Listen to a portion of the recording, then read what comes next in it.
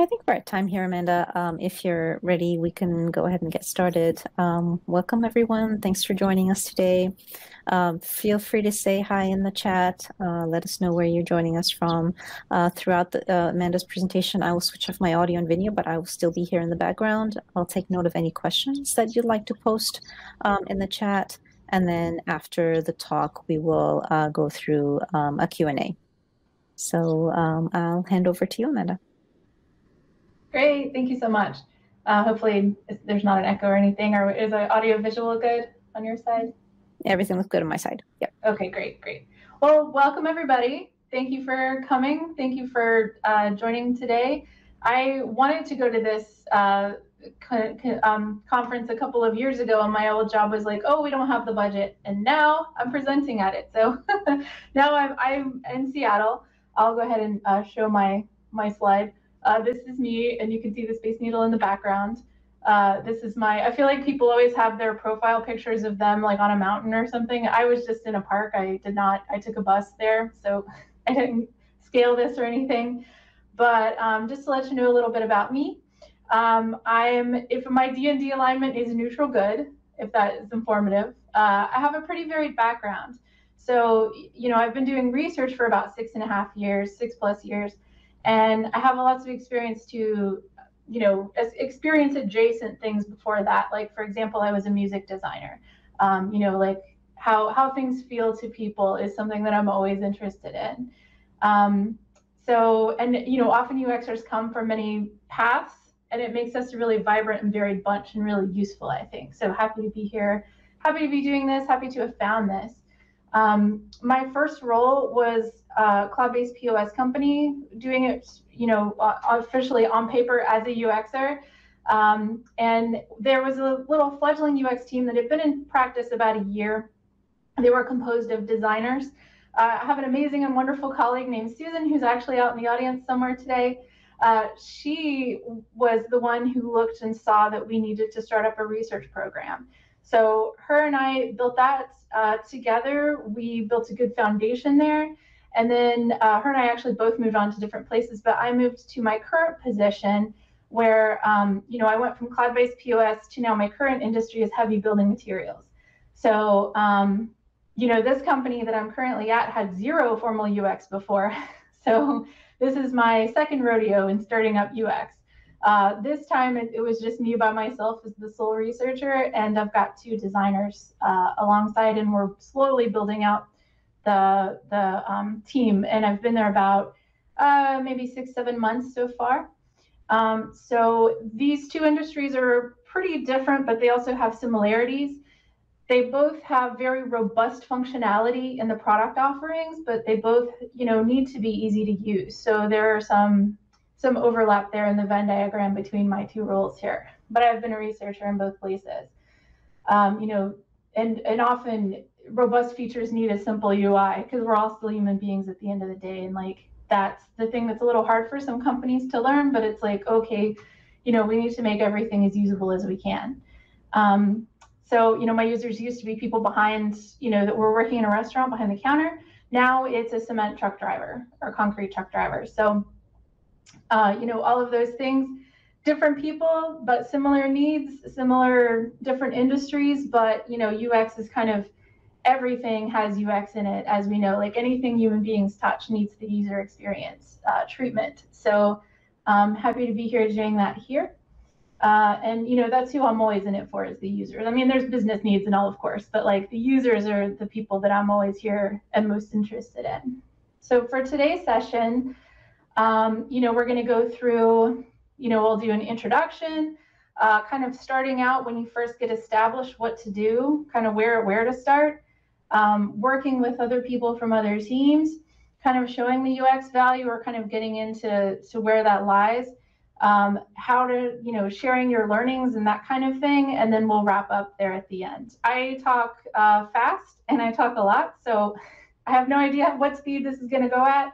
I usually try to slow down, uh, but uh, forgive me if I'm being too quick, and uh, I'll try to to pace pace myself for this.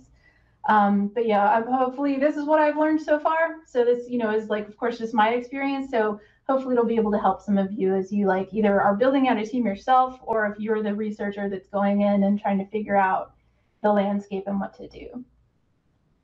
So uh, without further ado, my first slide.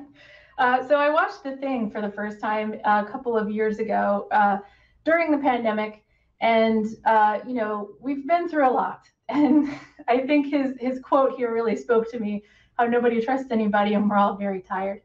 Um, so you know we've been through a great deal. Uh, the tech industry has been through a great deal. Well, the tech industry was relatively safe, as you guys all know, probably. Uh, it was even booming during the pandemic but now there have been some kind of course corrections. You know, now there are some some good and bad bets that are coming to to pay, and uh, you know, like there have been lots of layoffs from lots of big names, as I'm sure you've seen. Me being here in Seattle, I'm right next to Google, um, you know, Microsoft, Facebook, all of those guys are here. There's Apple presence. Um, you know, a lot of tech workers have been laid off. And you know, for this very nihilistic, uh, practical special effects horror movie, you're probably wondering how I'm going to get positive about this, but it's it's also very gross, by the way. If you haven't seen this movie, it is very gross, but it's a good movie. So I'll let you decide, uh, you know, what you're going to do there. Um, but you know, something else was also happening during all of this. Smaller businesses and businesses that aren't in industries that are necessarily that you would think of when you think of tech. So all of those big names are the FANG companies, you know. Um, so build businesses like mine, heavy building materials. You don't necessarily consider them to be tech leaders, but they were all kind of like looking and realizing that in order to stay relevant and not get left in the dust, they're going to need, um, you know, to up their tech. You know, grocery ordering was really prominent during the pandemic. That really grew. Video conferencing really grew there are all of these industries and i mean there are ones that have always needed help. For example healthcare you know logging into healthcare portals. All of these different industries that have either not had tech before or their tech is just like you know really tired and not usable and kind of built on these old fashioned things. Uh, everybody was kind of having this awakening and reckoning that like hey to keep up and not be left in the dust we need to be relevant. We need to have a good user experience. The bar is higher now. Everybody expects things to work and they expect things to be usable, accessible, all of those good things that we can bring. So, you know, in light of that, you might be, you know, if you're one of the people that got laid off or not, uh, you know, you might be seeing these opportunities in these places where you haven't seen user experience before, or, you know, you haven't really seen a lot of tech presence before.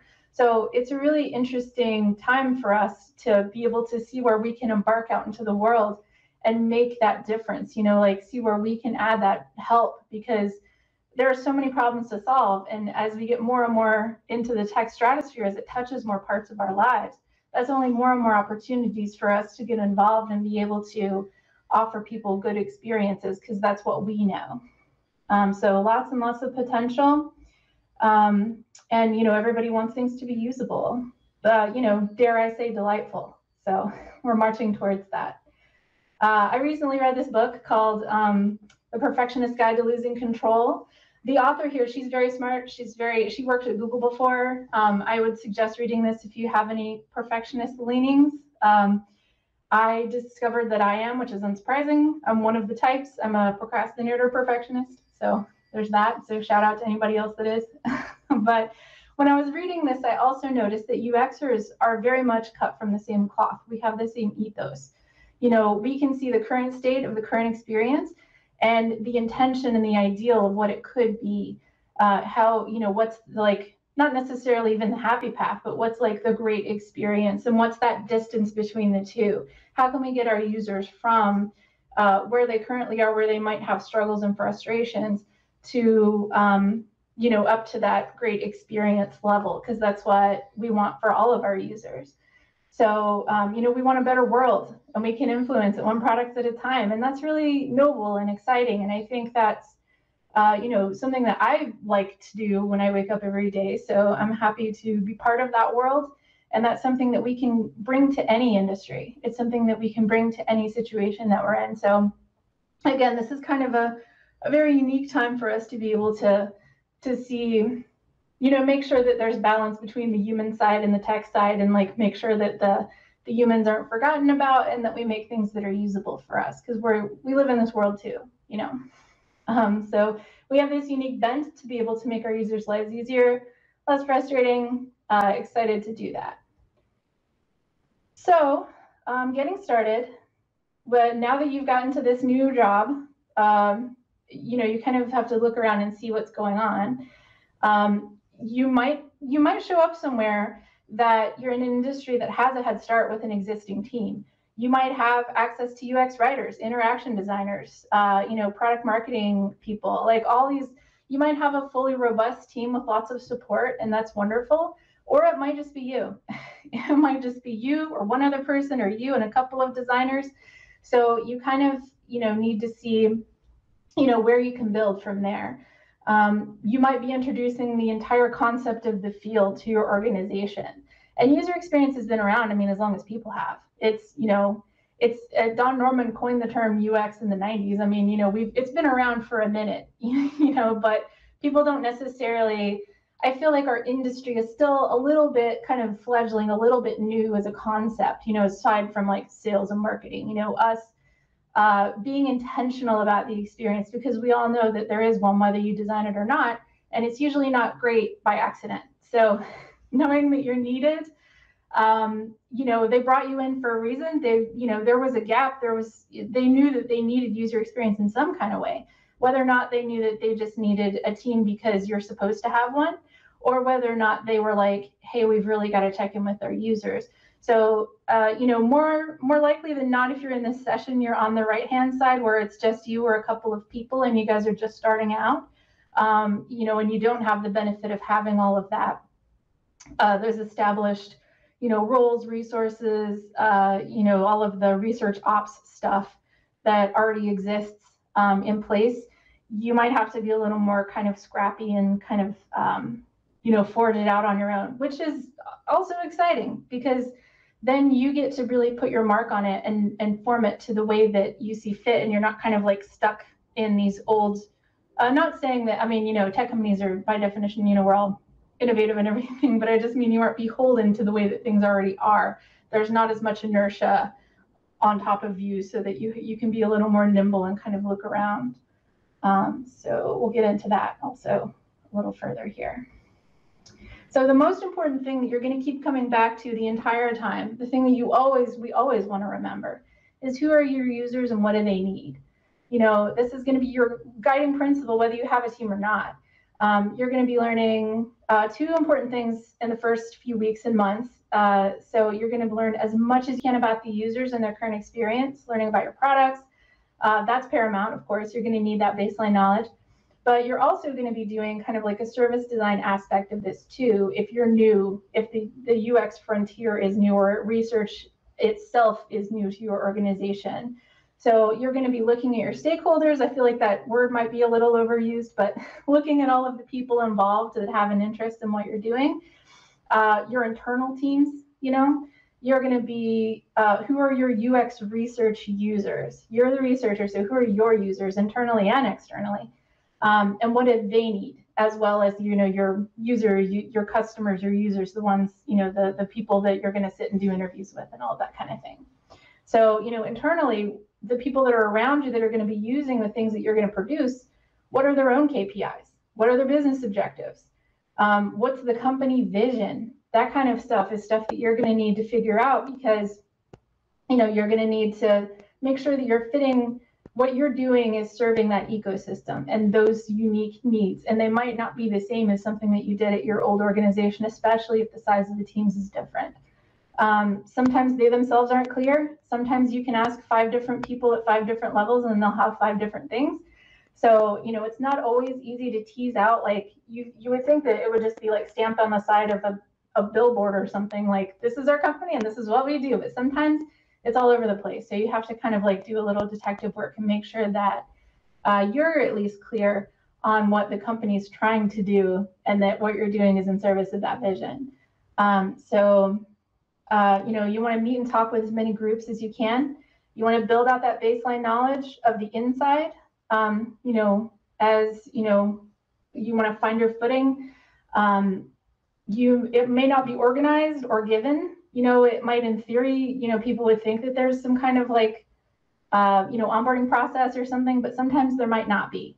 And if there isn't, then that's a chance for you to do it. You know, you can learn. And something I've tried to do in my organizations is, um, you know, if the resource isn't there, I try to create it for the person that comes in that's new behind me so that, you know, it can be a little more of a softer landing if there's foundational stuff like, you know, what acronyms mean, that kind of thing. Um, so if you can make that kind of thing for the person that's coming up behind you, um, even if they're totally not in your department, it still might help them uh, have an easier time. So already you know you're trying to like help with the experience because it all matters. Um, but you know you're here to observe, synthesize. You know this is your wheelhouse. You know how to do research. You know how to find out who your users are and what do they need. So really just thinking about turning it inside and for your own purposes doing this as kind of a research project like looking at your company looking at the products that you make and researching those the same way that you might your external products for your external customers uh, is useful as you're getting your footing of figuring out where you can really uh, add the most value with your work that you're doing here. So teamwork, uh, you want others to join your cause. Um, unlike reality competitions, you're here to make friends, you know, or at least colleagues. Uh, you want people on your side. So, it, you know, it's a little bit different that we're not in person when I started my previous job, I had a great boss that was like, you know, let's go visit everybody's office. Let's go talk to all these people. And, you know, I, I know there are studies that for people that are new employees at uh, at companies, it's a little harder for them to onboard than they would if they were in person. But it's not impossible. Like there are still plenty of chats. Uh, there's Teams or Slack, and you know, if your company has happy hours, you know, still plenty of ways that you can kind of get to know everybody. Uh, writing them down helps because I'm terrible with names. So you want to get to know everyone and understand the value that they're bringing to the table as well. Um, you know, you want to know how you, that it can weave together with what you're doing. So this is your chance to ask all of those starter questions. They're not like dumb, but you know, like the starter beginner questions, that beginner mindset. Um, you know, you want to watch demos if they exist, all of that kind of thing. Um, it's really important to let teams know that you're here to add and not take away. Um, you know, if they've gotten these great relationships already established with users, that's wonderful. that's a great place to start. That's my current situation. Everybody already talks to the users regularly, which is great. It's just that they're doing it with a different mindset than you might be doing it. Like there was a need for you as a researcher to come in. So, you know, like where can you add that value again? So, um, you know, you want to let them know that you're here to help them uh, you know, the work that you're going to do with research will make the products better, easier to sell, easier to support. Um, you're going to help devs not have to do things twice. Uh, they have very valuable hours that you don't want to get thrown away. Um, so, you know, you're helping the company's bottom line, but you're also helping the users and you're helping your internal teams uh, to not have to do repeat work, to make things go a little smoother, all of that kind of stuff. So you just want to kind of convey that value. Um, and the fact that you're not here to just be like, well, you can't talk to users because I'm here and only I can do that. That's not true. Um, you want them to know that you're here to to help them and to and especially your boss. You know, you want to help your boss do their job better. You want to help everybody. You know, the things, the insights that you're going to bring from out in the field are going to be crucial and so imperative to making everything else work better. So, um, you know, you just want to um, you know, help them. You're here to dive deeper and empower them to, to do that, to allow them to do that. So it's a great value add. You know, of course they want you here. So if you frame it that way, it helps. Um, also, if you want, you know, you're trying to build bridges, you're here to like, you know, help connect these dots. Devs don't usually get to go see users. They don't usually get to go, um, you know, hear about direct quotes from the users or see the videos. So that kind of stuff is what you're here to bring. Um, and, you know, we're here as resources and, you know, we are the user advocates. We're the experts on the current user experience, you know, who they are and what they need. But we don't need to belabor all of our methods to our colleagues. So they're more interested in your results than how you got there. Um, at first, if it's new, you may want to give them like a primer on like, here's what I'm doing or here's how I'm doing it but you don't need to spend uh, you know eight slides at the beginning of a presentation of like here's every single thing that we did because there's not as much value in that Um, Jared Spool, who, if you guys don't know already, you should find and follow him. He's a wonderful resource, especially if you're just getting started in this field. But, um, you know, he has a great analogy about this is like taking your car in to get fixed. If you take your car in to get fixed, uh, you know, if you want them to go and show you around and what they're doing, they will. But otherwise, you take it in and then you go do something else, and then they bring it back and they say you need a new water pump. You know, they don't show you all the wrenches, they don't point out every little thing that they're doing they you trust them as an expert and they come back and bring you the thing at the end so you know they're really they they're doing their own jobs they're already busy they just want your expertise and that's what you're here for. That's why you're so important. So you know you don't need to do a like how to ux uh, in every session. I've found in my experience that can be a little exhaustive so that people kind of tune out or they kind of get a different idea of it. Or you know, I think it's much better if you can to show them, you know, and again, you can lift that curtain anytime they want to see. Anything that, you know, you, you can add executives to the Miro boards or, you know, whatever. Uh, and so that they can see the work in progress. That helps sometimes if you're feeling a little precarious and like, you know, oh no, all these designers are cranking out designs. Uh, how do they know what I'm doing? If you ever want to show that, it's there. But, you know, when you're doing the summarization, the presentations, all of that kind of stuff, uh, you know, you need a little bit of it as far as like, you know, I went to this place and I talked to these people, but you don't have to like really get into it because they, you don't, they don't need to know all of that. That's a little too inside baseball. Um, you know, they're they're already doing their job, and this is you, you don't need to train them to do your own job. Now that being said, this isn't saying that you don't want to democratize. I know people get a little bit nervous with democratization, but if you especially are the only user there, you can't do everything. You know, you can't be the only person that does user interviews. So, you know, just it's just finding a good balance there and like, you know, training them enough, um, but not also just teaching them every little thing. You know, if they want to go read the Nielsen Norman website, they can, or, you know, they can see all of your resources and stuff that you've made.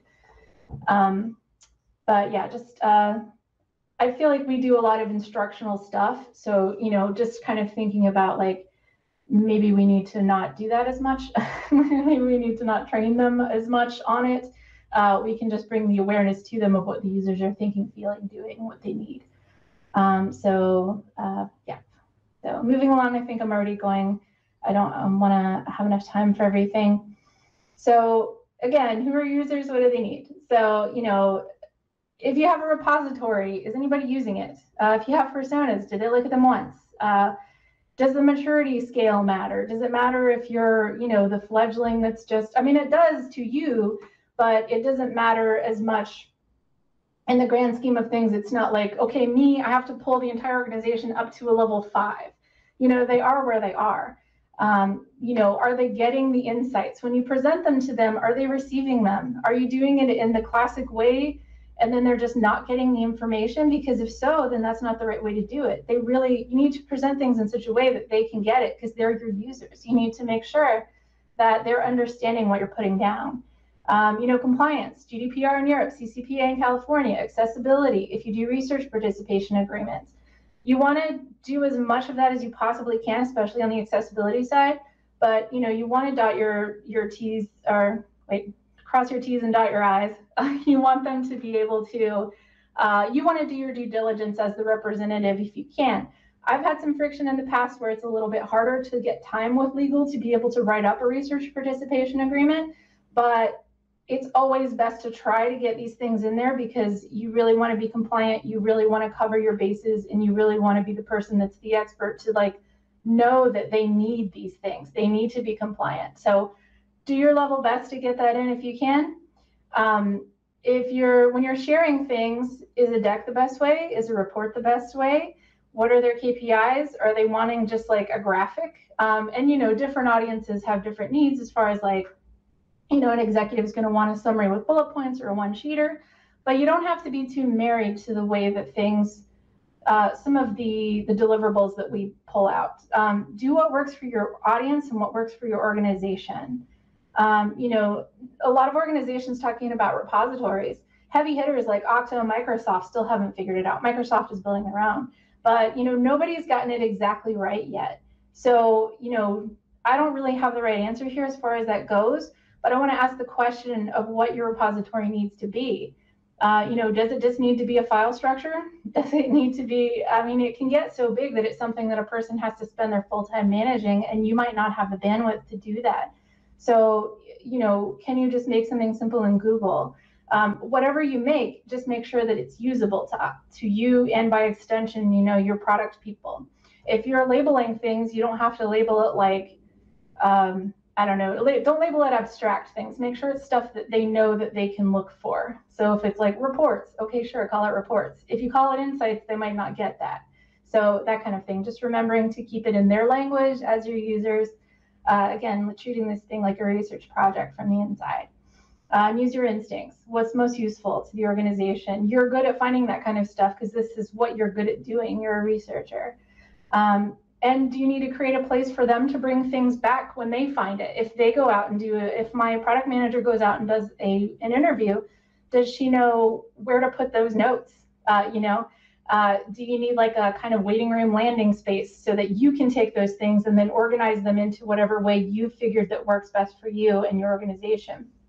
So those are the kinds of things that can help you to think about um, you, it's hard not to get too hung up on the planning at the beginning part and doing the ops, you know, uh, just figure out whatever way works best for you, whether or not you cannot function without that setup first, or whether or not you can just make some documents and then organize them later. Uh, but the bottom line is it's what's most useful to the people that are looking for the information. Um, you know, center the users and you're going to be okay. Um, so again, this is like the service design aspect. It's like the inside out shirt of UX. Uh, you know, you want to make sure things are working from the inside. Um, who are each of your audiences? What business languages do they speak? Uh, you want to ensure that your hard work is getting understood and actually used and not just glanced at once or like, thanks that you did a great job and then nobody ever sees it again. Uh, if it does start the conversation, though, I would argue that it's still worth it.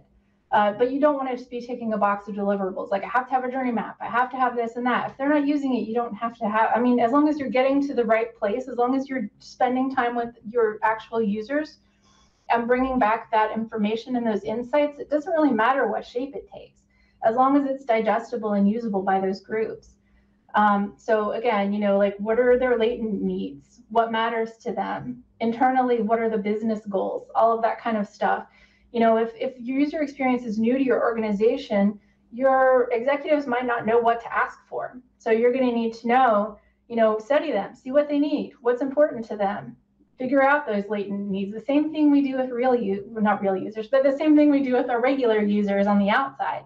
Uh, what do they need? What do they need that they're not telling me? I need to watch what they do and not necessarily what they say. We know those are different things and they might not get it at first. You might have to repeat things a couple months later. That's okay. This is a learning process. It might take a little bit to sink in. Uh, you know, you it gives you a chance to try new things and iterate and see what works. That's what again what we're good at. We know how to do this. Uh, you want to gauge the space in your organization and the receptiveness and make that those inroads where you can. So I know we're getting close to time here. I just want to wrap up. Um, trust yourself is all I can say. Like it, try not to be eclipsed by imposter syndrome, right? It, it can be a little bit lonely if you're the only person there or one of the only two people there. You're the researcher. You have these unique and crucial set of skills. They brought you in here for a reason. There was a gap that they knew wasn't getting filled. And that is what your skills are here to do. You're here to add that value and bring that awareness. If you hit a wall and people aren't listening, you can try different ways, or maybe they're just never going to listen that's also you can leave that is an option. Um, but you know do your best and then if if it's just really not they're not getting the information and you can't abide not being able to do it the you know the the way that is the most true to you and your users then you know maybe there's somewhere else that can use your your gifts. Um, but uh, you know i was doubting what you know how useful the stuff that i was producing was and we had a new um, a product marketing person come online and she said, Thank you so much for all the stuff you shared with me. It was a gold mine of user information. It's really helped me out so much. So, I mean, it is, if you're doing the good work, and again, no matter what shape it takes, as long as you're producing those insights and you're getting that really to the heart of what the user's needs are and the problems that you can solve, um, you know, that's what really matters. And we shouldn't get so hung up in like all of the processes and the maturity levels and the you know, all of that kind of stuff. Because especially if this is a fledgling operation, you know, if you're the only UXer to begin with, uh, you've got to start from somewhere and just look around, use your instincts and skills, and figure out, you know, where you can do the most good, and and you know, you'll you'll be fine. So that's all I had. Um, I didn't make these slides, so this is all the information there. I'm a researcher, not a designer. Um, but I don't know if we have time for questions. If we do, I'm happy to take them. If anybody wants to reach out on uh, LinkedIn, uh, super easy to find. Um, I don't think this is linked specifically, but feel free to reach out. I love talking shop. Always happy to talk to anybody about this. Um, so I really appreciate all of your time today. Thank you very much, Amanda, for that. It's, uh, it's a lot of valuable information. We do have time for questions. We have 15 more minutes. So uh, any questions that you have, everybody, uh, put them in the chat and we'll take them from there. Uh, it was an interesting term that you coined there, Amanda, perfectionist procrastinator. I'd never heard that one before. yeah, I think there are maybe six types of perfectionists. There's oh, a classic perfectionist, procrastinator. I forget some of the others, but yeah, there are many, many stripes of perfectionists. Oh, I should look them up. oh yeah, it's a great book. Be sure to take a look at it. Um, okay, everybody. Uh, questions for Amanda? And if anybody's out in Seattle, we can get coffee. Just oh me. yeah, it's finally starting to get outside. Summer's here. The cruise ships are already lined up. So. Mm-hmm. Yep. So we have about 15 more minutes. If we have questions, then there will be a 15 minute break. Um, probably a wrap. Let's take a look at the schedule. And one thing I'll mention while you're looking, um, for new people, for people that are new to research um, or UX in general, um, finding local meetup groups is so useful and helpful. And you find that a lot of your peers run into the same problems you do.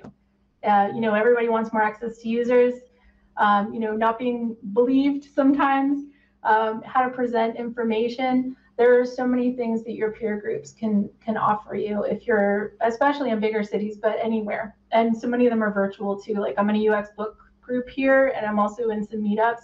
So all of that is really useful. So yeah 15 minute break um, and then uh, a quick wrap up session in the stage area. We're in sessions right now. The wrap up will be in stage. Okay. Okay.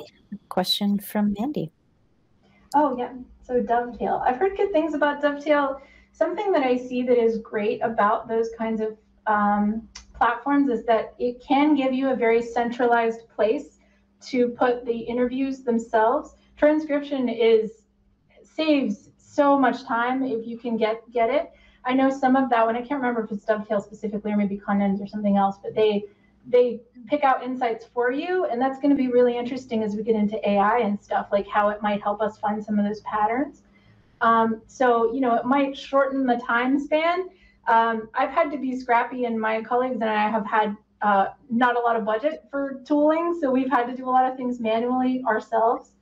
Um, if you can get the buy-in for it and that could be your central repo as far as like you know here's where all the recordings are sitting here's where all the notes are sitting.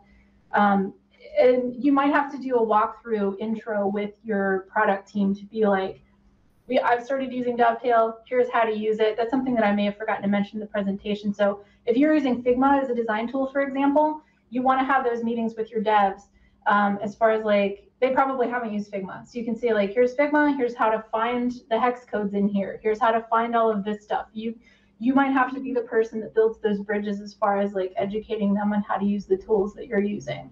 Um, but a lot of places, like right now, my company works within Microsoft Universe. So it's like SharePoint, which I'm not as familiar with, and I actually do not like the experience of as much. I miss Google. Um, so uh, you kind of have to go where they are sometimes if they're not as receptive, or if you try the new tool and they're just never going in there.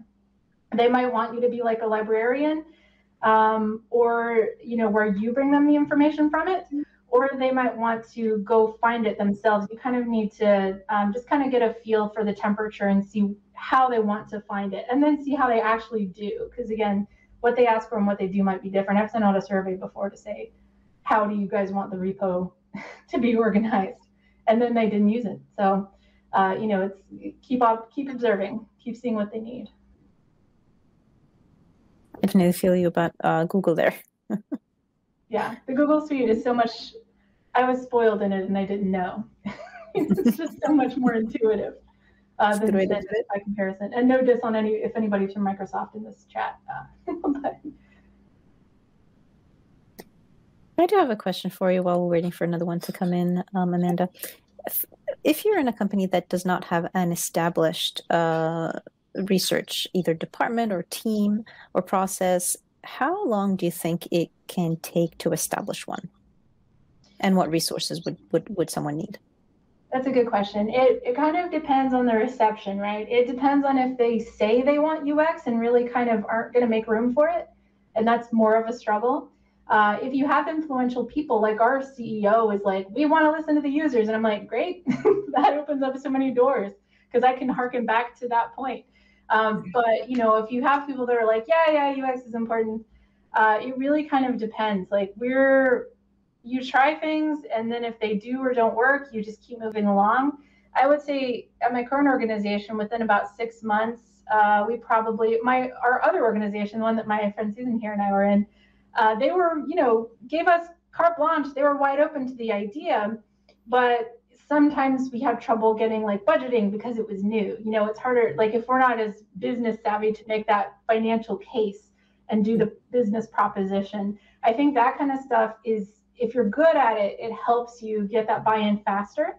Sometimes, like in my current organization, I feel like they're they're still looking at me as product validation they're still not really seeing the benefit of the strategic research beforehand and how much that can save you. So if we're a clock, we're starting at like three or four, I think. And I think it's going to have to be a whole cycle until they see the results out on the other side, see where we could have mitigated risk, see where it does support the vision. Like sometimes you have to kind of do one or two of the, the pancakes that don't come out quite if they're not receptive to it, and that t- takes more time. And I mean, I don't want them to have to do that. I don't, I want everybody to do it the right way the first time because it's easier and faster and better for everybody. But if they're really not listening, then you can take stock at the end and um, it takes longer, but then you can still show that value. Just like our users on the outside want to see the value. We don't want innovation theater, you know.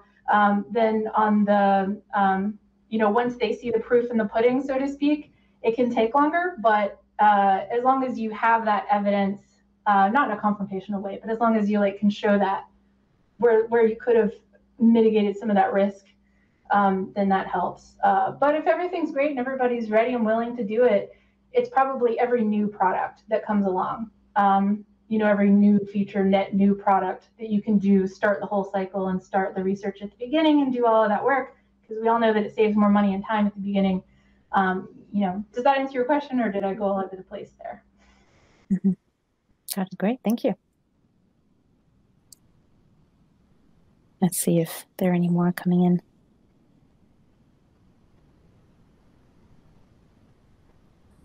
Do you think it's enough to start um, with just one or two UXers? I think so. I think you can do, I mean, it's like one or two users, you know, the difference between zero and one is a huge leap. So, um, you know, it's uh, nicer if you don't have to wear all the hats at once uh, like for example, the product marketing person that just came in, she's going to be able to do so much of like competitive research that I won't have to do. Um, so that kind of thing is useful. Like her and I can work in concert and help each other versus one of or the other of us having to do everything. so, right. but if you have a you know a designer or two and a researcher, that's the paradigm that I've been in both times, and uh, you know you can do a lot of good there, and you can really make the impression. And once they see the good work, usually you can get patted in, like they'll, you know, more heads will get added and it'll just grow from there. And then you can be an apple, you know, you can be somebody who's a, a six on the maturity scale where they really prioritize and diff- you're a differentiator at that point. You can really disrupt and all the things that the executives say they want to do, you can get to that stage um, you know, if you really invest in your research team and your UX team because it's so important. I mean, I feel like we're so often kind of like clawing for relevance, but the truth is we are the most relevant people because if you're not doing it for users, who are you building any of this stuff for?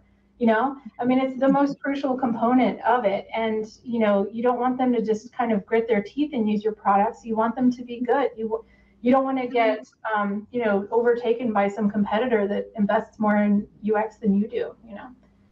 Mm-hmm. not saying you would. I know you never would do that sandra. Taken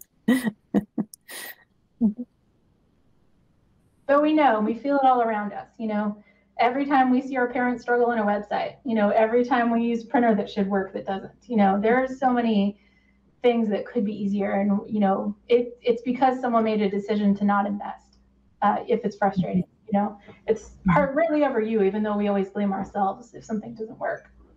Mm-hmm. But there's a reason Apple's Apple. There's a reason people go to Disney World. There's a reason why people drive Ferraris. The experience is so important. And we know that, but we need to convey that to everybody else in the organization. Right. That is so true, actually.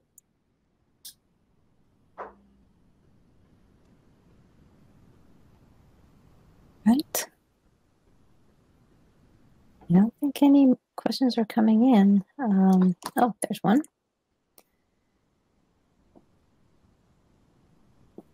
All right, Susan.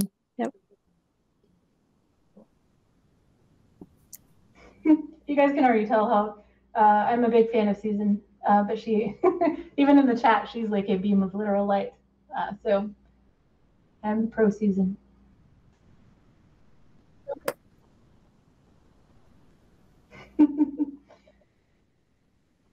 yeah, you're totally right. It touches everything now, and it's only going to get more and more. I mean, the more technology we're going to have, the more it touches everything in our lives there's that's every every one of those is an inflection point for an experience. Uh, you know, experience research, experience design. Um, you know, to make it better, it doesn't have to be terrible. We don't have to live this way.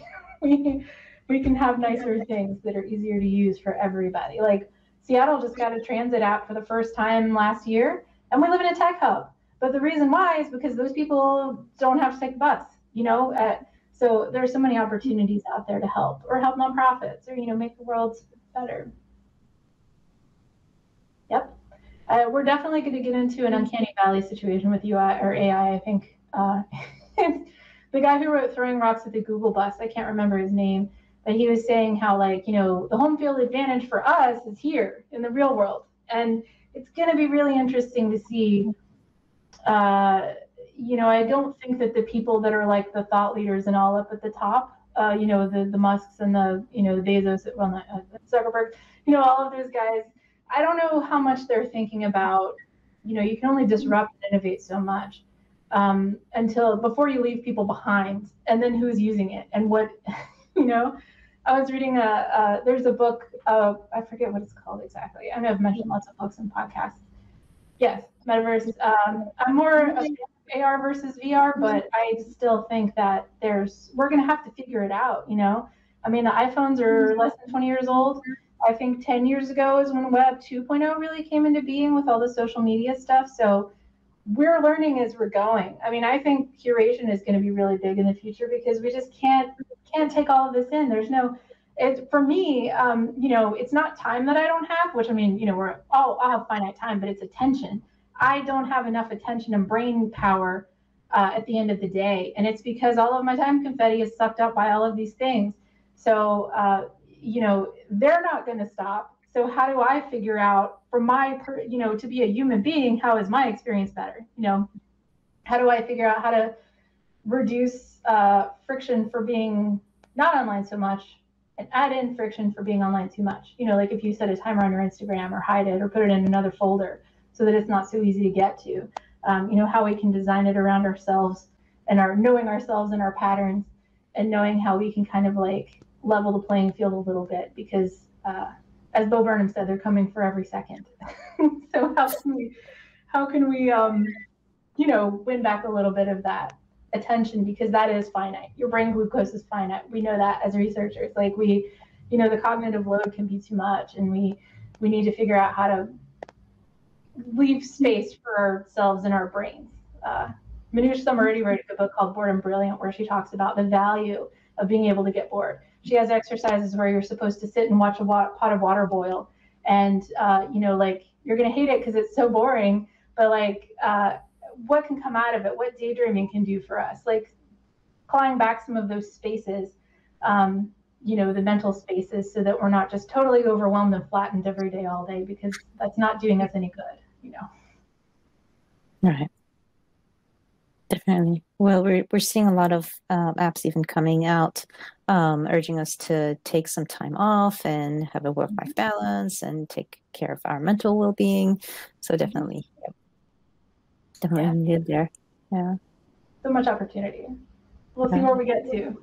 but I'm excited for it. We don't have to be nihilistic like the people in um in the thing. We can uh we can be optimistic and try to make a better version for ourselves. Yep definitely.